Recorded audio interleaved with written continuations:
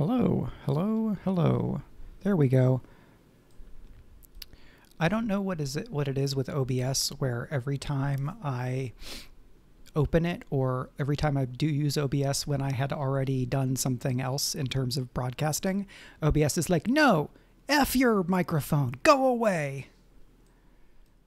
And so I have to reintroduce it into my uh, overlay setup, which also means that I have to redo the volume, which is why it was loud earlier.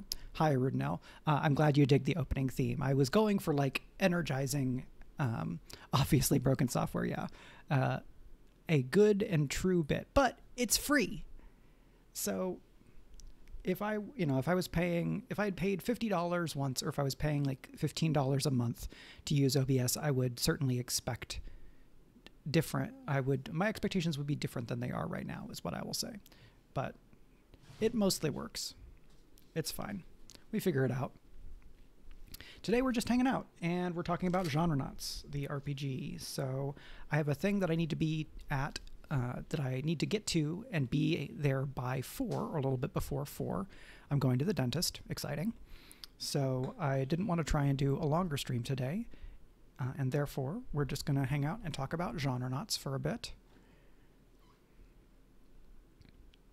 Yeah, I think I'd love to see a, uh, a system where it's easier for more people to do stuff that they're excited about and not um, not have to feel like they need to um, charge for it in order to be able to survive. Like if if everybody's needs were taken care of by like mutual uh, mutually assured systems, like mutually um, interdependent systems, and then people had more time to just like do do stuff that they really liked, uh, that would be great.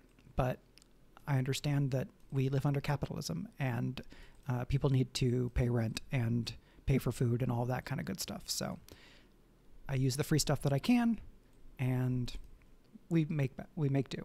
I'm going to adjust my camera here a little bit. I'm going to go this way and I'm going to go this way. Okay, hello. I'm back. Or I didn't really ever leave. Uh, thank you to Megan. O'Keefe uh, who for the follow uh, earlier today. Uh, if you are here, uh, thank you specifically. If you see if you see or hear later on, thank you then. Uh, Megan is a very accomplished uh, fantasy and science fiction writer. You should definitely check out her books. I got to work on uh, with her on her first trilogy, which is like fantasy, a little bit of steampunk vibe heist with um, strong like Lies of Locke Lamora ish vibes. You know, that was a the, a more prominent comp a few years ago when those books were coming out. Probably more years ago than I'd like to think because time is a lie. Um, so that's that. I am going to see if I can make my make this uh, chat window or this uh, this document show up as an item. So let's see, window capture. No, what I want is windward. Okay, great. So then we're going to move this around and nope, I'm going to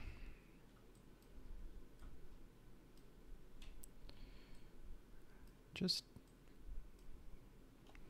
let me move it. Yeah, no, I don't want that either. Here we go. That's the hotness. Now we're talking.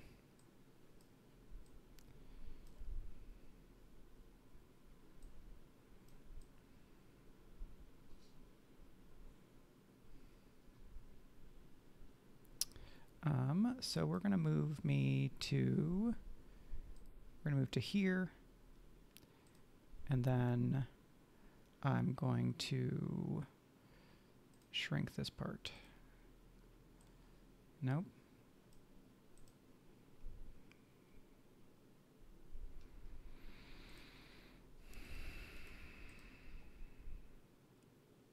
All right, we're going to go back to this one, and then I'm just going to shrink my camera is what we're going to do. Do, do, do, do, do, do, do. Hello, here we are. That's much easier. I'm going to move this. Okay, so you'll get at least some of the text as I'm talking about it. All right, I'm going to scroll a bunch back to the very top of this, so don't worry. And we can get rid of that. Oh, except then I messed it up because it recentered. Okay, here we are. So this is Genrenauts version uh, 098. So we're getting very close to version 0.1, which is the version that I am planning on releasing on itch.io as a work in progress game where people can buy it and check the game out and see what's it what it's about. And in doing so, I can fund ongoing development. Because if I if I put this game out myself, I will need to do editing, layout, copy editing, art, uh, and other such things. My hope is to find a good publishing partner because having self published my own books, I know how much work it is to publish a thing. And I know that I am not as well versed in the uh, like game publishing world as I am in the trade book publishing world. And so I appreciate the importance of experts. I don't know that that is a certainty because I haven't pitched anyone and no one has said yes because no one has had the chance to say yes. So I cannot guarantee what format this game will kind of reach its final form in. But I've done a lot of work on it already. It is a about 140 pages. Uh, Twitch keeps freezing. Interesting. My bitrate is pretty consistent at about 5200. Yeah, I know some publishers I can approach. My my preference is somebody who ha- already has some expertise or at least familiarity in publishing uh, Forged in the Dark role playing games, because that's what this game is. And if they publish some Forged in the Dark games, it is more likely that they are going to be able to, uh, you know, get the game in front of other people that already like Forge in the Dark role playing games but we'll see. That is farther down in the process than uh, than we are now. So I'm going to zip zip down here to recent changes. I think I haven't done one of these in a couple of months, so I'm going to talk just uh, talk about some of the things that I've done recently, and then a big thing that I want to do today is talk about what I want to get done and where I want to be before I hit that version 0.1 and put it on sale because patrons at my personal Patreon at patreon.com slash Michael R. Underwood, um, I should probably do command bio here, which should have my Patreon. Hey, good job. I remember my commands. Uh, so backers at $3 a month and higher ha- always have access to the latest version of the document as I kind of post and keep them updated. But then the version on itch.io will be kind of the, the paid version where anybody who who buys that will be able to access the kind of ongoing drafts as I'm doing it in that edition, and then uh, I'll kind of keep developing the game. So, some of this is in response to feedback from playtesters because I do have an external playtesting group going right now where I kind of did a big call and got you know a dozen plus responses and tried to line people's schedules and had volunteers to run games. Uh, unfortunately, some of my volunteers have not been able to to follow through on running games because life happens. But I have one person running a game for which I'm very grateful and some folks playing with them. And they gave me some feedback. So one of the things I added recently is, or I've added a, a, decent bit of stuff that is like, here's what it's like in the world of the Genrenauts. Here's what the Genrenauts do. Here's their vibe. Here's what daily life is like. And talking about the kind of um, firehouse vibe where they're around and maybe on call, but nothing is super actively happening. But then they have to leap into action, and sometimes there's long hours and that kind of stuff per a suggestion from a colleague, I added more specific write ups of how load works in this game for people that are not familiar with Forged in the Dark games. And I also kind of finally did my the my work of writing up the kind of standard Genrenauts gear, where there is specialist gear that is for your playbook, and then there's team gear that each playbook gives, and then there's the regular gear which everybody has access to. And I had it on the character sheets, but now I've kind of I've created some text that goes with it for people's reference. And that's to include things like the personal phase manipulator, which is a thing out of the books, where people can wear it and then kind of change how they are appearing in the world to be able to fit in in a different way if they need to, which was in in no small way it was my uh, it was the trick that I used to not have to make as many of my stories um, take. Uh, basically, I didn't want to have to feel like I was writing around racism um, and sexism and transphobia and homophobia, where I wanted it to be easier for the main characters in these books to be able to engage in kind of more the more, stereotypical mode of a given genre without having to have that element smacking them in the face. Sometimes because it's just not what I wanted to be writing, like theme or tone wise, and sometimes it's because to do so would be stepping more out of my own personal experience. Um, because you know, if I'm right, like the the first Genrenauts episode is a western, and so I try to include in that story like, oh, you know, the like we have this fact the the reality that most historical cowboys in that tier in that period were Mexican and or Black Americans. Um, but John Wayne is the kind of Hollywood iconic uh, cowboy as a white dude, and so there's a little bit of a little bit of that, but I wanted to constrain the degree to which I was writing stories that were not just starring people from backgrounds that weren't mine, but were about those backgrounds. And so I have the personal phase manipulators. These are also a little bit of a soft safety tool in this game, where if your group decides, okay, we're fine having the kind of traditional oppressive uh, ideas in a genre be in that genre, because we're going to work against them, we're going to challenge them, we're going to oppose them. But maybe one player is a little bit less excited about it, but they're still happy for it to be an element and for other folks to engage with, but they don't want to have to engage with it. Their character can use a, a, a, a personal phase manipulator and kind of wipe away at least some element of whatever challenge they would be facing due to discrimination. That was the intent. I'm hoping that it continues to be useful in the game and it doesn't have to just play that role. It does let you do other things like impersonate somebody or something like that. Per a suggestion from um, from a, a mentor uh, from a mentorship program that I got to participate in, I've changed scars to hangups because I was already intending for the stand-in for what is trauma and Blades in the Dark to be framed more softly and in a less permanent, um, gritty fashion.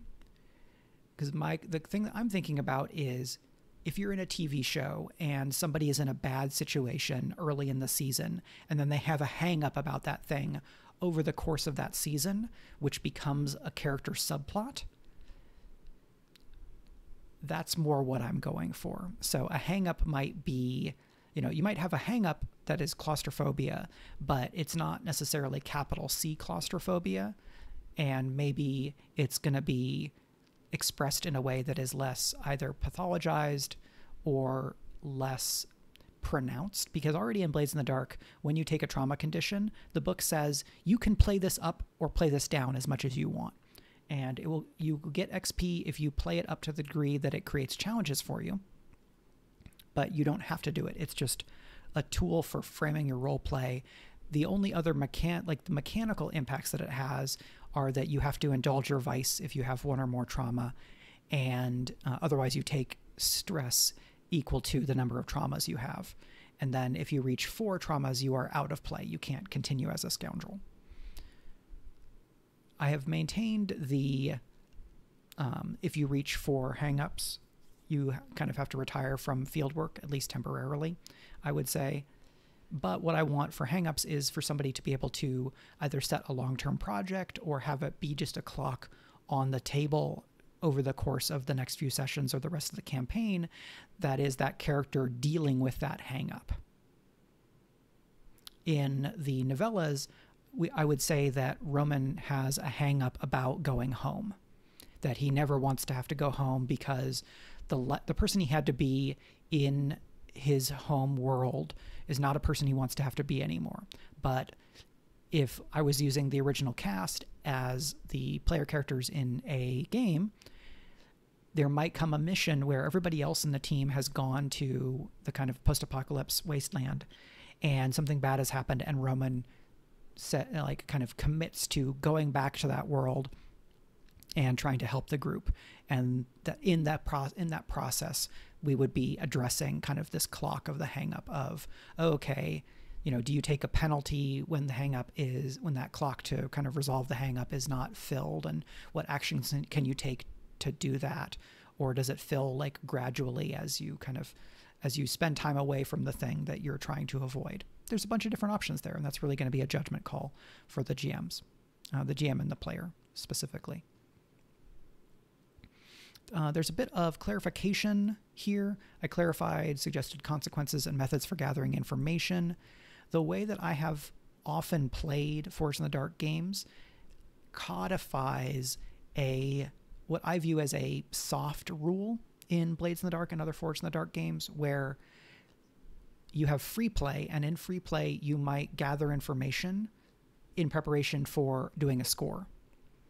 If you gather if you spend too much time gathering information the gm is encouraged to start filling clocks as time is passing and maybe your opportunity to pull the score off um, is reduced what i have done often is codify that into the legwork phase means that in free play before a score everybody can take one action to gather information or prepare for the score i have clarified what i mean in here because I have the recon phase as an official phase in the game where you do intel, you deploy, you have recon, and then you pick your plan and you make the engagement roll.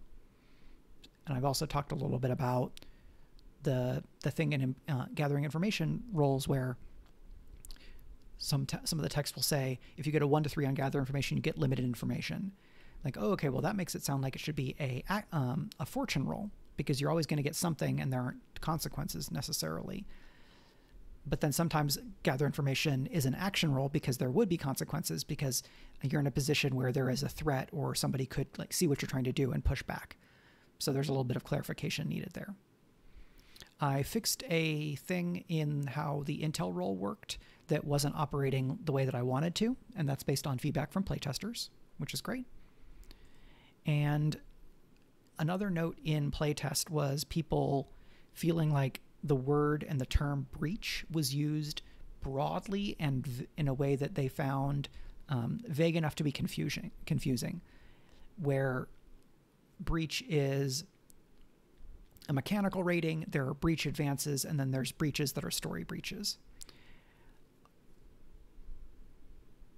I used breach in kind of all of those fashions in the fiction and did not get that kind of pushback. These are different media, and that's fine. But looking at that, I said, okay, do I feel so strongly about maintaining this term as the term that has permutations? Or is there a way to still have it mean all the things that I want it to mean, but to clarify it so that it does not have as many mechanical incarnations that can be confusing. And so what I've done is I've taken the breach rating, which is the analog of the wanted rating, where in Genrenauts there is dimensional instability, which is like heat, sort of. Um, but it's also like the adversary clock in Girl by Moonlight.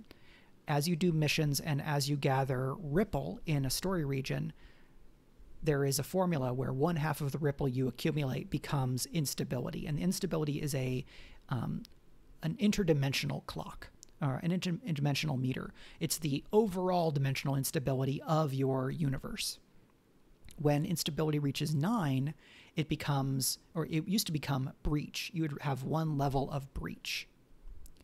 Um, but then I had breach as the description of a story break, and I had breach advances, which happen when ripple fills in a region okay, maybe that's enough different things that it becomes a little tricky to follow. What I've then done is I have almost every time I'm talking about a breach in a story, the text says story breach. And then I have breach advance as a separate term. So these are two game terms. I have then taken the breach as a rating and I've replaced the term breach with um, a breach rating with chaos. And so you have instability leads to chaos. And breaches lead to instability, lead to chaos. And hopefully that streamlines and clarifies and makes it easier to follow all the different things that I'm doing without having to like double check things as much. And part of making this a game is being really clear and specific so that people who are playing without me in the room can still get everything out of it that they're looking for. And people who are playing it without having read the fiction. So that's fine. I like chaos as the analog to instability. Like instability leads to chaos, instability leads to breach. Okay, cool, chaos. I changed renown back to reputation because, as my mentor said, uh, in like business or office environments, one doesn't often hear about renowned teams, but you might hear about a team with a great reputation. I'll still use the the kind of uh, the term rep. Rep for Genrenauts feels like it's gonna have a different some different manifestations than rep in Blades in the Dark, which is about like your rep as a criminal crew. And where I am departing from Blades, I want it to be because there is a specific good reason to use either the same or a different term. And if using the, if the different term does not fit, I'll either want to come up with a separate different term or I will go back to the more commonly used and recognizable term from within the Forged in the Dark framework and or from the SRD itself. There are a lot of Forged in the Dark games, many of them a number of them use rep. And so that is not a, pl- a, a, place where I think I will get criticized necessarily on a, as a designer for like, oh, well, you're like, you specifically are just copying Blades in the Dark here. A lot of people use that framework. It's fine. If I if I or an editor or somebody else comes up with something that they like better, uh, and then I think makes sense, and then maybe I get some feedback in playtesting, sure, maybe we can do that. That's fine. I'm not precious about that. And then the last thing I did recently was just kind of beefing out or like rounding out the text as I take this more toward a thing that can be read without having read or played another Forged in the Dark game. So I added a lot of examples of uh, resistance. Resistance examples down here. Okay, so um, uh, let me adjust this because you're not seeing the edge of the page here. Oh, right, because I added the search thing again. Anyway, I'll leave the search thing up so that I don't mess myself up again. So I have one, two, three, four, five, and then six resistance examples. This is so that there are two examples of resistance with each um, for each of the attributes. So there's two actor resists, there are two crew resists, there are two director resists. And I tried to use different actions in different types of situations. These examples are a little long, but they are very detailed so that you can use these to learn how rolling resist uh, works. They're not the most unpacked and um, step by step by step by step, but they are fairly co- uh, coherent or um, they're fairly uh, comprehensive. That's the word that I was looking for. Yeah, the in the independent design space, there are a lot of games that draw very heavily on other games, and that is kind of a generally um, a generally accepted way that people do things. You know, you give credit where credit is due and you add what is specific and what is interesting to you and you put your own spin on things. Um, so yeah, I agree, Arudnell. The the question of what is rip like what it is what is it to be ripping something off in an RPG is one that I think a lot of people have talked about, and I'm not as interested in um, having discourse about because I'm more interested with what you do with the rules than where those rules came from. Whether you are drawing, you know, you're drawing direct influence by kind of taking a rule or um, a system framework and putting it into a new context, or whether you are just kind of adding something to something that already exists. You know, where does where does it where does something stop being a hack and start being its own game? I'm not as interested in that, at least in this framework right now, the conversation we're having. Maybe some other time, maybe at a BarCon. We can talk about that division, where I think it's probably a blurry line. All right. So that's a bunch of stuff that I did. What else do I have? I have. I clarified some other stuff. I don't remember if last time I had already shown off my superhero region write up. So I have uh, the superhero uh, genre region. This was hard to write stuff for because superhero is so broad as a genre and because I love superhero stuff so much. So I had to really think at a 10,000 foot view and think about what type of things do I need to put in this like specialist abilities and other stuff like that for people to engage with the superhero genre in the way that I want to facilitate. And uh, as Original says, it's super hard to do, or it's very hard, it's super hard to do superhero rules because one superhero is a uh, like is a hybrid medium because it's both image and text, right? And the action, much of the action exists in the reader's imagination through the way that they, uh, the reader imagines the transitions between frame or between pa- panels, right? We have panels and we have gutters, and panels are generally a moment. And often, when you know, often you're going to want to have an, a moment of action leading to another moment of action. But the flow and the transition between that is, happens in the reader's imagination, not on the page. You can have like a, you can have transitions in you know you show like a process in panels, but it's not going to be frame by frame in the way that you can do something in film. This is one of many challenges. Also, it's like you're going to have an exhaustive li- list of superpowers. Like in Dial G, G for Genrenaut, I have a list of powers toughness, strength, flying, super senses, speed, energy blasts elemental control, telepathy. That is not an exhaustive list of superpowers, but it is a pretty big list. And I say you may suggest additional abilities, or you may include additional abilities at the GM's discretion. You know, if if you want a power that just says reality control, maybe that's a little bit too broad but maybe it's not too broad because the superhero story that you're doing is like Rising Star, End of Rising Stars, or um, uh, The Authority or something, and you're like in the really, really high power zone.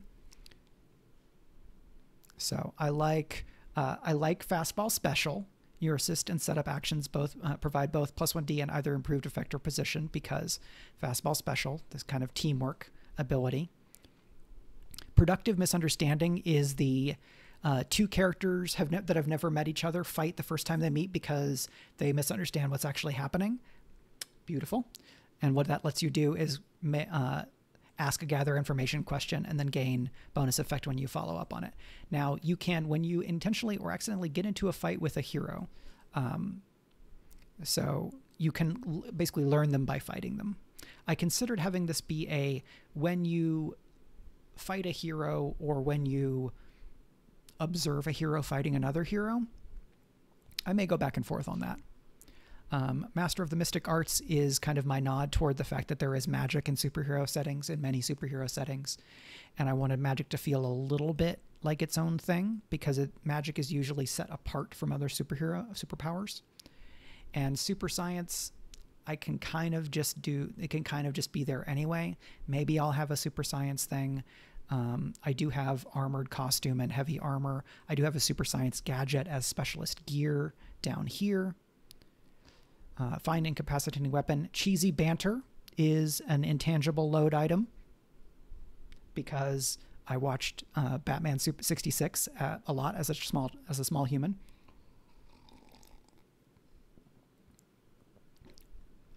So my supporting cast is filled with um, references: Lane, an intrepid reporter; JJ, a domineering boss. Uh, absolutely original. Yes. Um, so we have, um, and then not all of these are like direct references. Wade, a complicated anti-hero. That's Deadpool. Um, D, a downtrodden hero. I don't remember. Some of these are I intentionally did like several steps from the pop culture reference to be less overt. So I don't necessarily remember what this one is. And uh, the Weaver, a D-list villain, just because I wanted to have a D-list villain on this uh, on this thing. So we have a plucky sidekick, downtrodden hero, um, so on and so forth A supporting cast is meant to be evocative. It doesn't have to be exhaustive. And then I have region advances. There's no I in team. This is the um, kind of the the critical teamwork move. But it, I also added when you make a group action with at least two player characters, you may count your scale as one greater or one smaller. So a group of five heroes who have there's no I in team could stealth through an enemy base as if there were only one or two of them. Or when they're holding off a horde of invading like alien bug creatures, a group of five could act as if they were a dozen people. So they fight as if they were a larger group.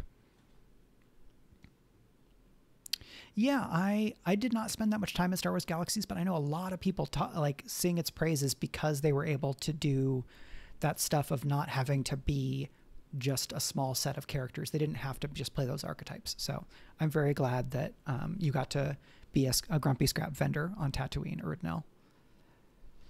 Summer event crossover is this thing that will let you use specialist abilities from other regions because superhero is more a setting genre than, or, or there are many ways in which superhero is a setting genre more than a um, narrative genre though it is both in different ways.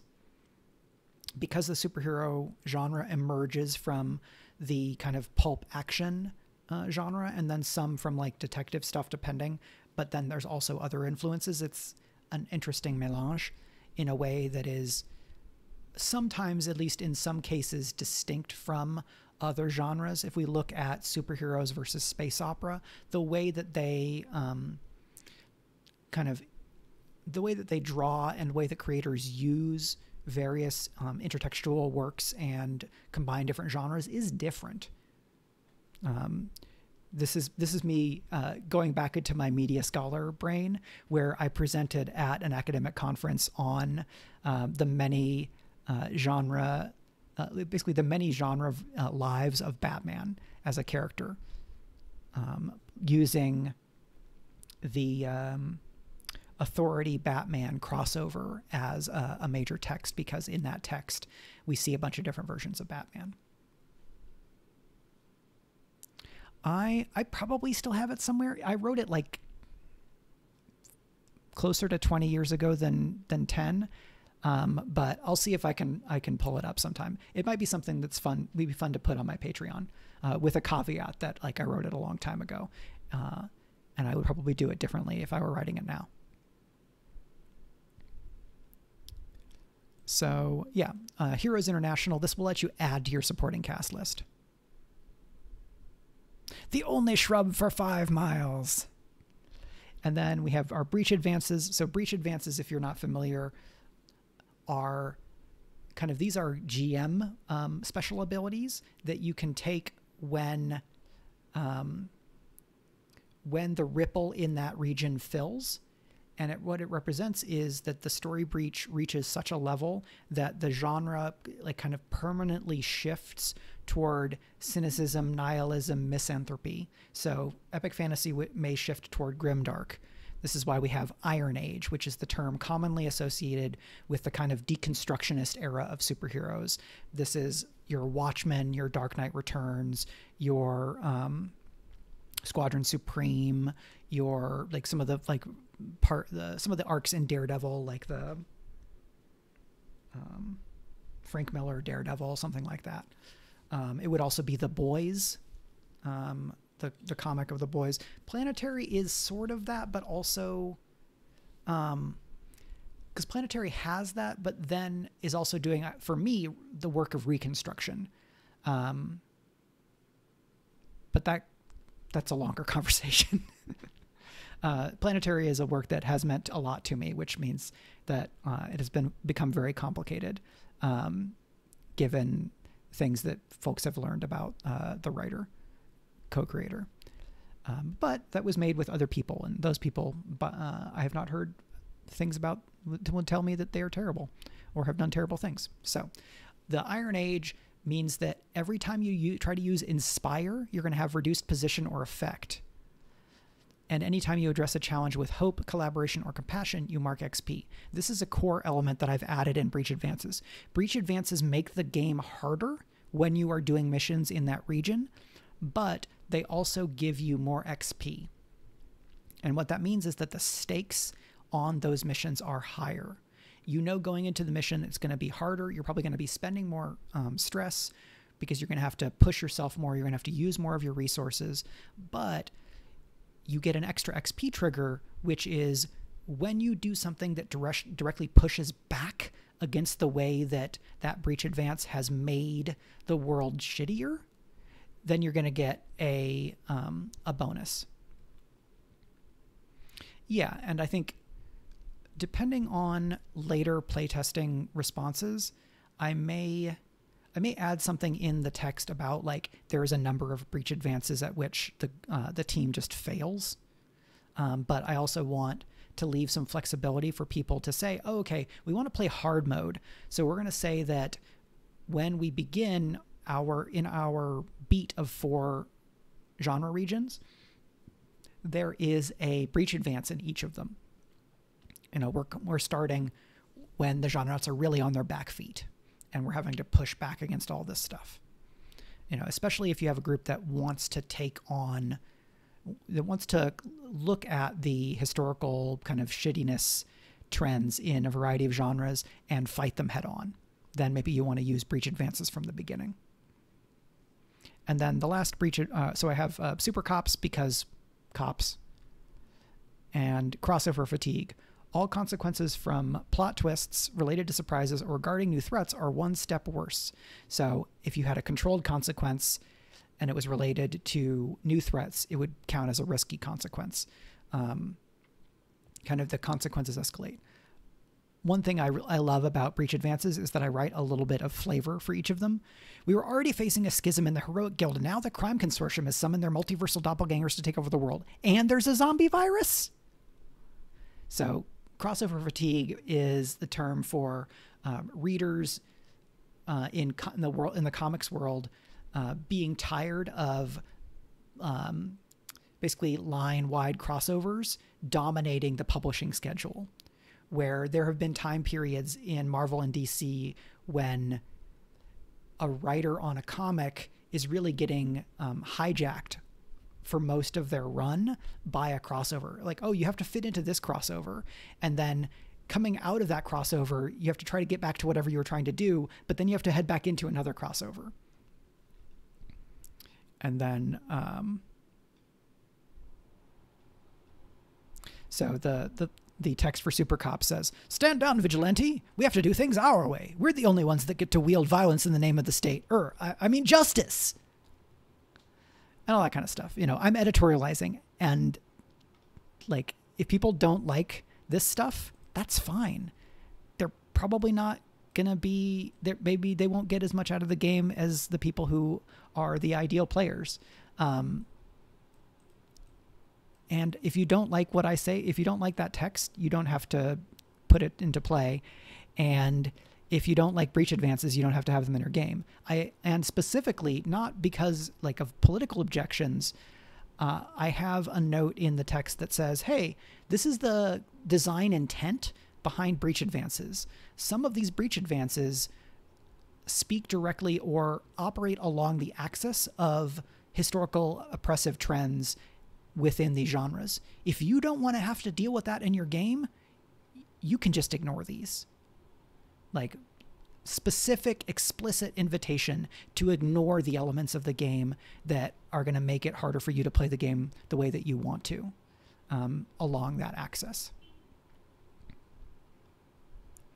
Um, because people don't need my permission to do so, but I want to. I wanted the text to be specific in identifying the fact that I understood that this was a potentially fraught um, element, and that I was not trying to suggest that people should have to uh, role play their own oppression or stuff like that.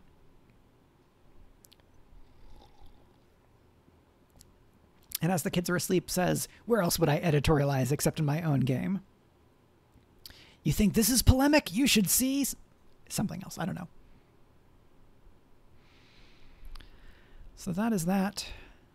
What else? Um, so I did a playtest of Genrenauts at Big Bad Con, which was, I guess, just over two weeks ago.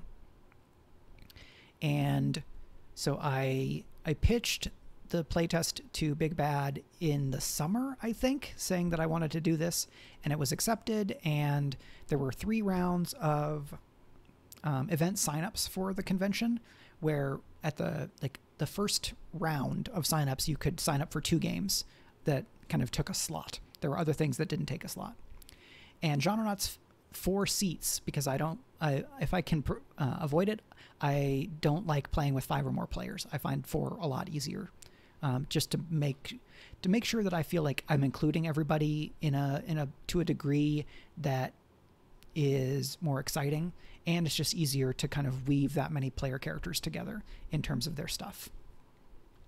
I have run and I'm currently running a game for a table of five on Start Playing Games. I think that that is fine because I know that system super well and I know the setting really well.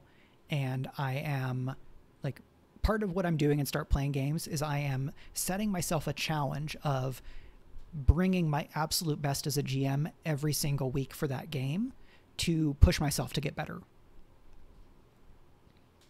But for a playtest where the players are going to be people I don't know, um, and it's going to be at a you know the first convention that I've attended since January of 2020, which is the case here. I set four. All four of those seats filled. It turned out to be two sets of two people, so it was like a group, you know, two friends and then two friends, which is great because everybody at the table knew at least, or all the players knew at least one other person, and that made it, I think, a little bit easier. So I was running the scenario that I used as the first mission for the Strange Friends playtest group, my kind of private first playtest group. Actually, I guess technically I ran the very first playtest I ran was for a different home game group. And then I ran it for Strange Friends, but the Strange Friends private playtest is the one that's continued for 10 plus sessions. So I took that mission which is the case file in the Epic Fantasy region, Advanced Perils and Perilisks. Um, and I ran the scenario for this group of people because I had ran I'd run that scenario now four times. I think this was the fourth time. So for the Strange Friends, and then I ran it at a Magpie playtest in their Discord, and then, um, I mean, I think part of part of what I find fun about Forged in the Dark games is that you can just um, change the rules and push them in directions that you want, and the game mostly holds up under it. I think in a lot of cases, um, I think there are ways that you can play against design intent and undermine some of the other elements of the game. But that's a broader conversation. Um, so yeah, I done Strange Friends, Magpie. I ran a very short version for uh, that was part of the um, the Break My Game playtest segment at the Tabletop Mentorship Program, which is the thing that I did where I, I had the mentor that I was mentioning earlier. So I did that in it was a 90 minute session, so it was a very abbreviated version of the mission. And then I ran it for this group at Big Bad Con. So it was the only the second time I had run a TTRPG in person since the beginning of the pandemic. The first time was a, a one off game of the only logical solution is hijinks for Meg and a couple of our friends who came down and um, visited, um, I guess, probably two months ago at this point. And look, almost like my almost all of my gaming in uh, except for that one time since March of 2020 had been online using virtual tabletops and things. So I was doing things like um, here, look, I have I have um, I have index cards and I'm drawing a, a clock on them, so I can. I, the fun of writing a thing and putting a clock in the center of the table in front of players is very cool. I think there is an impact there that is a bit different than when I just add a clock to an overlay um, or to a VTT um, screen. One more multiverse does have a thing where you can have that text like kind of fade in and fade out on the screen when you add a clock or something like that. That I think is pretty effective. Yeah, I think, uh, like you said, original um, Munchkins. I think you can you can break the game with Munchkining because you like stack all the dice, but there's all like there are resource costs, which makes mitigates that a little bit. Um, but I think you can sort of break the game if you can um, kind of convince or bully, small b bully the GM into letting you roll your best action at better effect when you really maybe you shouldn't be able to. Um, because the player gets to say what action they're going to use, but then the GM gets to say the position and the effect, and that's kind of supposed to be the balance for being able to pick whatever you want to be using um, to to address a situation. And then I think you can break the game if you change some of the things that are aspects of the kind of um, score downtime flywheel, where you do scores, you gather, you gain heat and rep and coin, and then you can spend coin to reduce heat. You can spend rep and coin to increase tier, and then the heat that you get impacts what in, uh, entanglements you get, and those entanglements can impact coin, rep, or heat. That flywheel, I think, you can impact in a different way by playing against or breaking the rules. And so that's just something else to have to be aware of.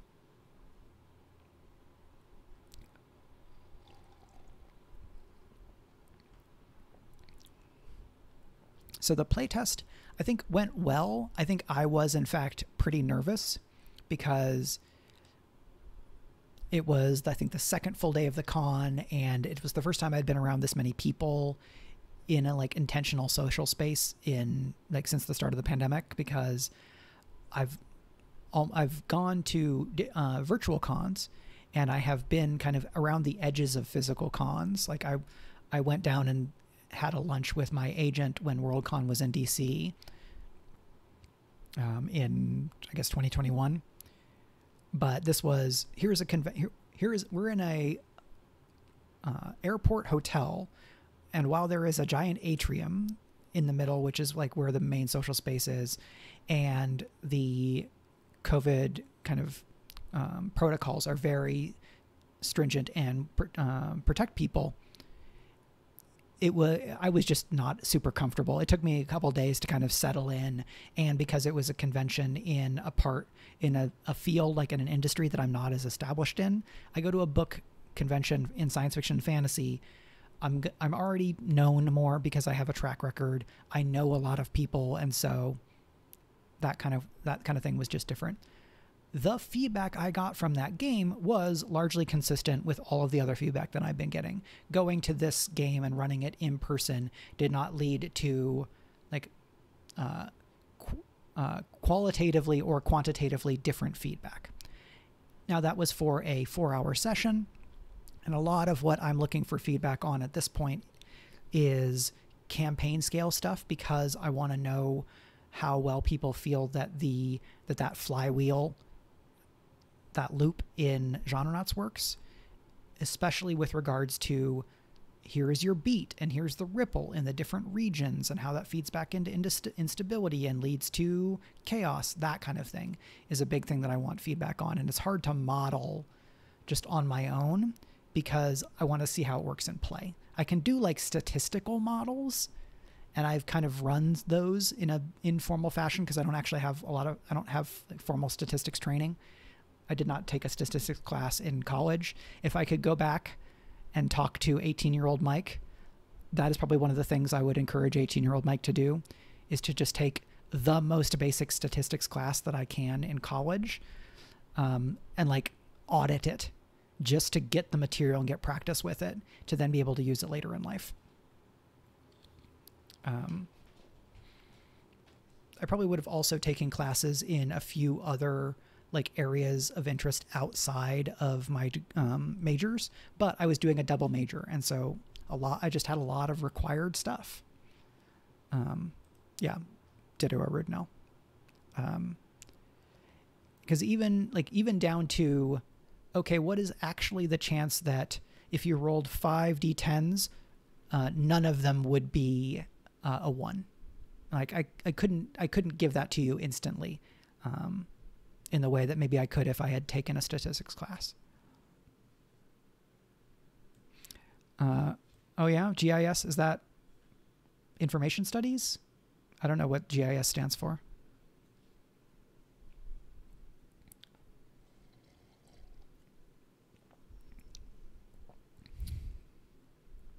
So that play, play test was affirming. It was not revelatory, and that's fine. Um, geographic information systems. Interesting. Hmm. Okay. Yeah. The um, there was a like physical geography class that I took as part of the semester at sea, and that's probably the closest that I got to what you're describing here. So, having done this playtest, the two next big things that I want to do, and I think that they are going to be one and then the other. I have like the last time I checked in with Kim May, we talked about Genrenauts and kind of where it is and what I'm looking to do and the timeline I imagine for that. But the the thing that I am focused on right now for Genrenauts is adding more to the text so that it is ready to be formatted into a PDF that is more easily searchable and to share that with my playtest groups and to have that be the edition that I put up on itch.io as a um, an in progress game. So when you publish on itch.io, you can flag that something is in progress and that it will like receive updates. There are a lot of people who do that on itch.io. This is kind of an equivalent to the early access system on Steam, where it is flagged that this is not a final version. People's expectations are not going to be that it's a final version, or at least they should be. Um, they, they should not be expecting a final version. But what I will be releasing is something that I want to be fully playable without someone having to know these other games or at least without them having to have the text of those other games. Maybe maybe it's fine if the game works best if someone already knows other games in the system, but that's like using the system, but that's kind of the case for any RPG w- within a framework that is that has a bunch of different games using the same system. Um, it would be easier for me to pick up Apocalypse Keys because I have played other Powered by the Apocalypse games. That's fine.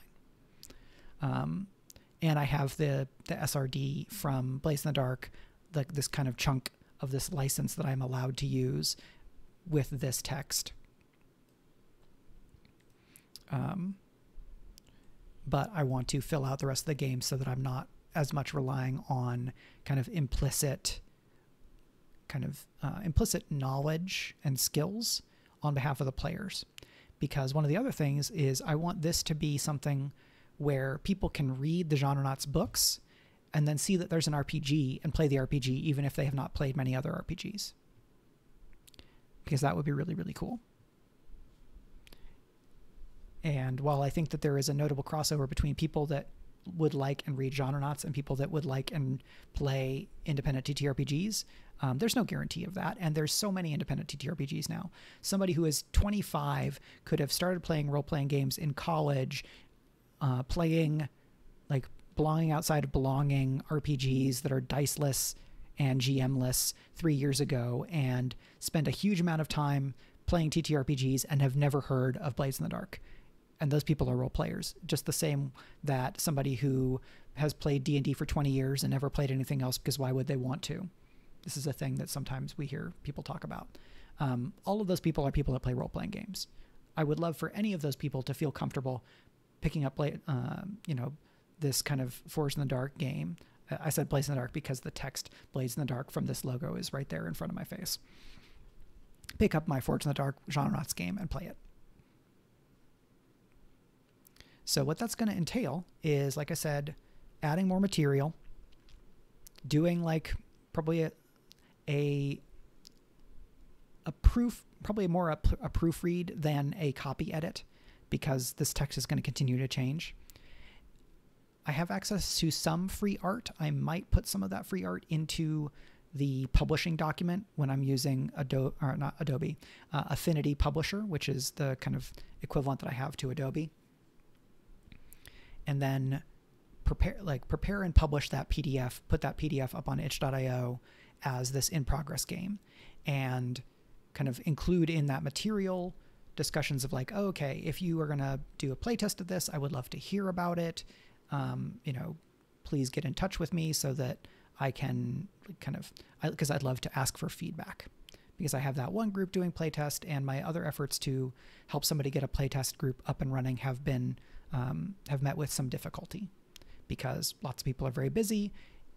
The economic situation for a lot of people is very bad this year, and so people maybe are working more, or they don't have as much leisure time, or you know any number of other things because we're also still in a pandemic. Like it's not the greatest, it's not the best of times for a lot of people, and that's totally understandable. The thing that I want to do sometime around or not too long after this edition, depending on how quickly I get feedback, is I want to pitch the game. I'm going to go to. Um, I certainly will. The kids are asleep. Yeah, when when I get that version up and publish it, and then I've confirmed that it looks good, I will be um, I will be shouting it out on all of the channels, and I will for sure include the uh, the Strange French chats um, so that that you can hear about it. Because I also want like you know, if Brandon wants to shout it out to people that that he knows or that they've uh, kind of talked to it about, then you know, I would want that as well. And then I'll be shouting it out on, um, yell at John Appeller. I will. Yeah, um, I think John John is gonna gonna get those updates because um, because John is following my Patreon. Um, but yeah, I will I will shout uh, shout shout shout it all out, um, and spread the word. Because you know, if I can sell 100 copies of the game at 15 $15 each, then that's a bunch of money I can put into layout, editing, or design or something. Um, will I sell that many copies right away? I don't know. It'd be pretty cool if I did, though. Um, I know that there are there are a lot of people who are designing Forged in the Dark RPGs, and there are a lot of people who are playing them. There are a lot of choices then, but I think even with the large number of Forged in the Dark RPGs that are being developed, I don't know that anybody is doing that it, any anything anyone is making a game that is even fairly close to what Genrenauts is. Not even a lot close. Um, not that this is 100% unique because nothing is 100% unique.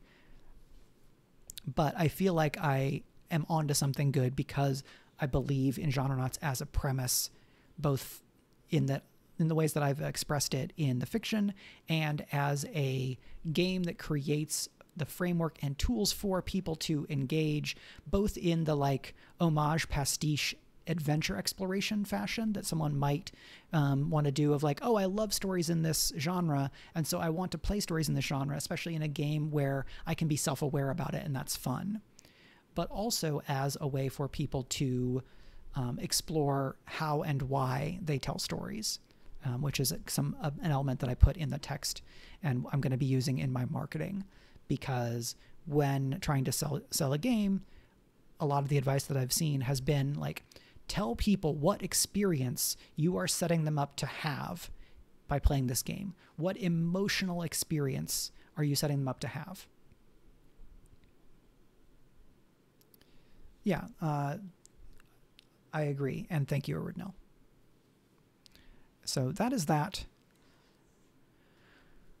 you know the the pie in the sky um, option for for pitching is Evil Hat Productions because Evil Hat published Blades in the Dark, they publish Scum and Villainy, they they publish Band of Blades. They are very well established. They're very well known. They have had a lot of successes crowdfunding RPGs. They are going to be publishing Girl by Moonlight. They are thus far the marquee Forged in the Dark TTRPG publisher. But a lot of people have been pitching them a lot of games. And so it might be a great fit for Evil Hat, but I might still get a no because of reasons that have nothing to do with the quality of my game. And I'm understanding that I need to be prepared for that. And regardless of that, I'm going to do my very best to, to pitch it and represent the game as best I can so that I can give the game the best shot that it um, that it can have in terms of consideration there. But ultimately, the decision will not be mine. Um, like if they offer, then the decision will, would be mine. But they have to say yes first. There are a few other publishers that I think are options. Yeah, like everything that you say, or now scheduling, human resources, overall budgets, any of that kind of stuff. Um, or you know, they have enough. They they want to like they have enough Forged in the Dark games on their schedule already. Um, you know, and that's kind of scheduling. Um, and they want to expand into XYZQ. Who knows? That's that's not for me to say. It's for them to say. Um, if I get a no, ideally I get some good feedback. That'd be great. Can't expect anything. There are other people that are publishing Forged in the Dark RPGs. A lot of people self-publish them. So there are some folks I might be able to reach out to and like hire as freelancers. Like, hey, can you edit my game? Can you do the layout? Can you do XYZ? And I know some people who, who do that, and then I know, and some of then some people that uh, some of the people I know know people that can do that. So like two two degrees of separation. Um, and the group Storytelling Collective just kind of opened back up. Um, uh, that person's wrong. It doesn't matter. Um, Twitter, it happens. Um, oh, that was the puppy dog. So the the dog had surgery, which is why he's in that crate right here. Right, it's not a crate.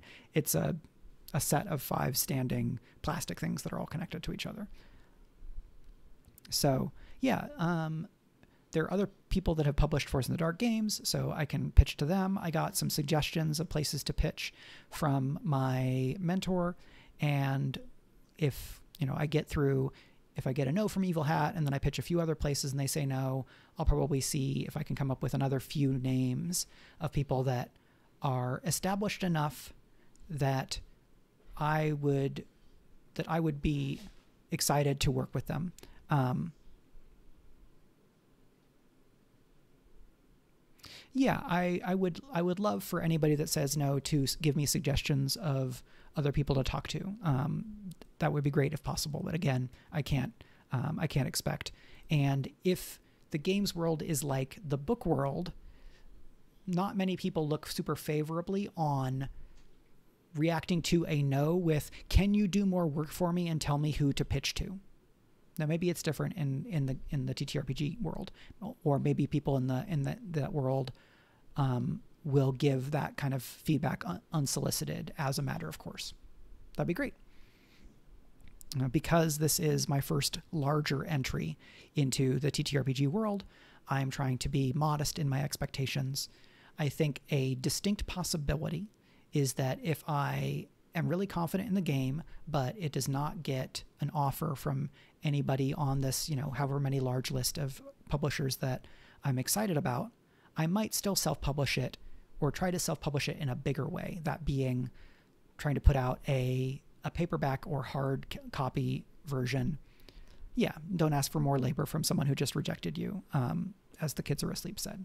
agreed because I kickstarted Genrenauts to take it um, into the kind of season collection that is now the kind of main version um, or the main way of getting all of these these books, especially if you want them physically. The folks who are readers and supporters of mine came out and helped me make that Kickstarter happen, and I would like to think that, you know, eight or so years later, I have grown as a creator and kind of made more connections and connected with other communities so that if I wanted to kickstart or otherwise crowdfund on like BackerKit or something, Indiegogo, whatever. Kickstarter's not the only game in town; they're just the biggest player, right?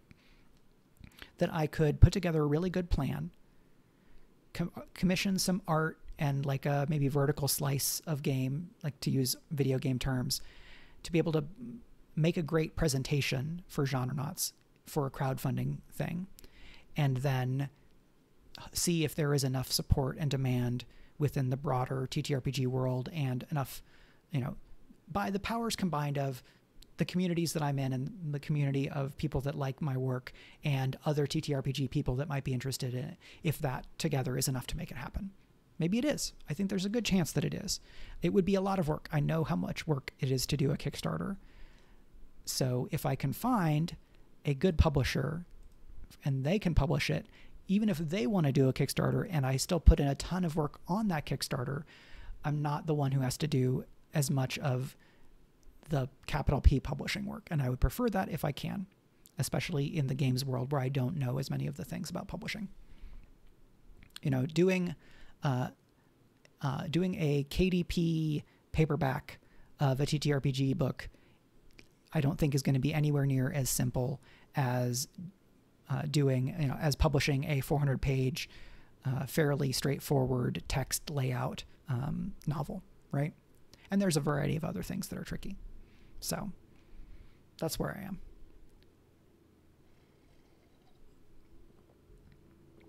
Having this game to work on has been really great this year because this year has been hard in ways that 2020 and 2021 were not.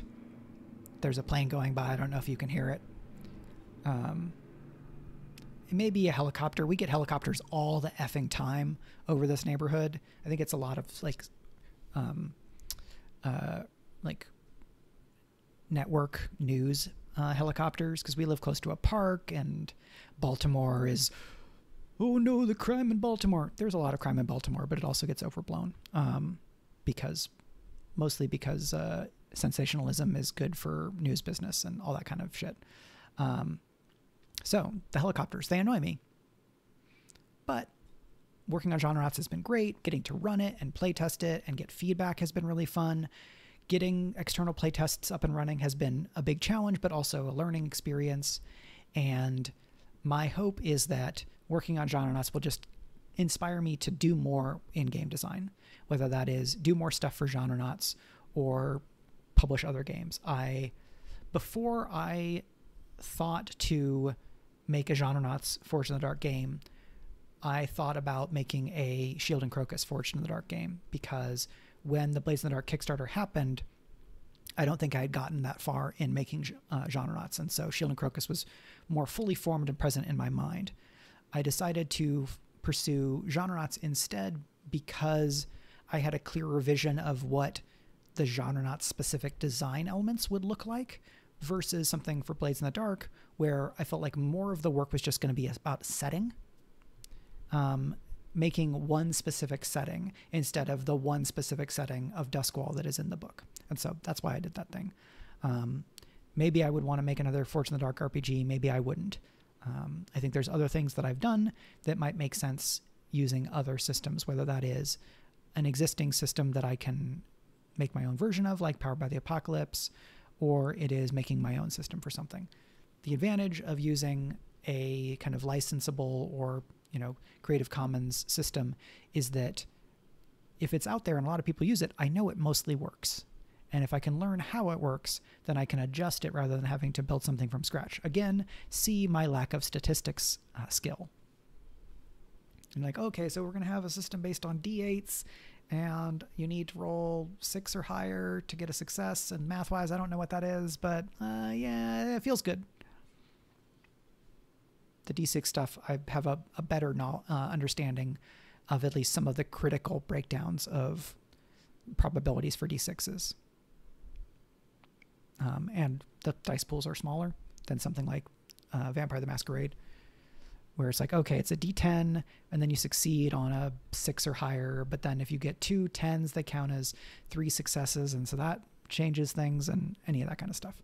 Uh, I have not gotten to play Vampire 5th Edition. I've watched some actual play, and I've watched some actual play of Hunter 5th Edition, which uses the same basics, basic rules, but I did play a lot of the older uh, World of Darkness games back um, when I was in high school and college. So that is that. Uh, it is about 3:15, which is around when I was thinking I would wrap up. Does anybody have uh, questions about Genrenaut stuff while I am here? If not, then I am going to pull up another Twitch page and there's and see if there's someone we should raid. And I think the answer to that is no. And you may have briefly heard a blip of other noise from Twitch. So I'm going to say if you did not see it, and this is at least as much for people who are watching later on on YouTube, and that's fine. Hello, everybody on YouTube. I am going to go to. Do, do, do, do, do. I'm giving people a chance to ask questions, and I'm going to youtube.com slash where I can give you the link to part one of Speculate's fundraiser marathon from this last weekend, which was grand old time. Everybody who has been in chat was there, and for that I'm very grateful to them. Um, but if you are have been lurking, or if you are seeing this later on and maybe you didn't hear about it, so uh, that is over at youtube.com slash arvaneleron, A-R-V-A-N-E-L-E-R-O-N. I will also put that into the chat because the other one, the other YouTube link is um, uh, does not include the word Arvaneleron, and it's a fantasy word, so I want it. Uh, I want to be able to. Um, uh, I'm going to save that, and cool, we're closing it. So it does this, and then I'm going to chain. Nope, I'm going to expand this back over to here so that my overlay is uh, in the right place. Um, happy writing, kids are asleep. Uh, thanks for hanging out. Thank you to Arudnell for hanging out and chatting. Thanks to everybody else who has uh, been here, come and gone, or whatever for and uh, lurking. Thank you again to Megan O'Keefe for following the channel. And I think I, I will I'll try I'm gonna try to do something on Friday. I haven't decided what it is. This week has been hard because taking care of Oreo and um, making sure he's okay has kind of I've recalibrated my what do I expect to get done levels to basically zero, um, so that we can focus on taking care of him. Um, so yeah, I will be doing something. There is Girl by Moonlight this Sunday uh, over at uh, twitch.tv slash arvaneleron. So check that out as well. And that is going to be speculate again. So that's it for me today. Thanks, everybody. See you next time. Bye. Where's my end? Ending.